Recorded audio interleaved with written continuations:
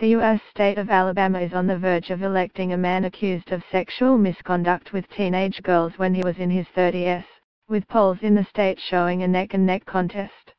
Republican Roy Moore, now 70, is running for the U.S. Senate against Democrat Doug Jones, with polls open across the state. The stakes are high, with Republicans holding a narrow two-seat majority in the Senate. Read more, more women accuse Moore of predatory behavior. Read more, Moore may be expelled before he is seated. Given Alabama's long streak of deeply held conservative politics, a win by Moore should have been a given against Jones. But Moore has found himself embroiled in myriad accusations of sexual misconduct, with nine women coming forward with stories of predatory behavior. Moore, a judge removed from the Supreme Court twice, has denied the accusations. When asked by Fox News host Sean Hannity if he dated teenage girls as an adult, Moore replied, Not generally, no. I don't remember ever dating any girl without the permission of her mother. A win for Jones would be a costly blow to President Donald Trump, giving Republicans just a one-seat edge in the Senate.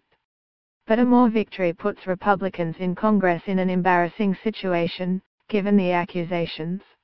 I called vote for Roy Moore, Alabama's other Republican Senator Richard Shelby said on Sunday. Alabama deserves better. Trump himself has been actively supporting Moore, tweeting this morning about him. The people of Alabama will do the right thing.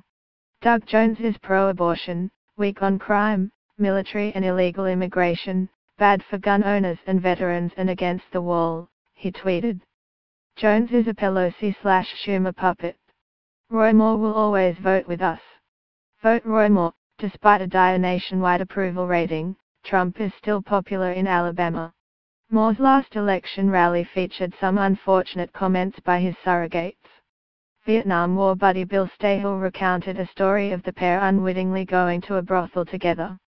There were certainly pretty girls, and they were girls, they were young, some were probably very young, I don't know, I don't remember that I was there long enough, Staehle told the crowd. Roy said to me, we shall't be here, I am leaving. Or words to that effect. Later, Moore's wife Kayla lashed out at accusations that her husband was anti-Semitic. Fake news will tell you that we don't care for Jews, she said.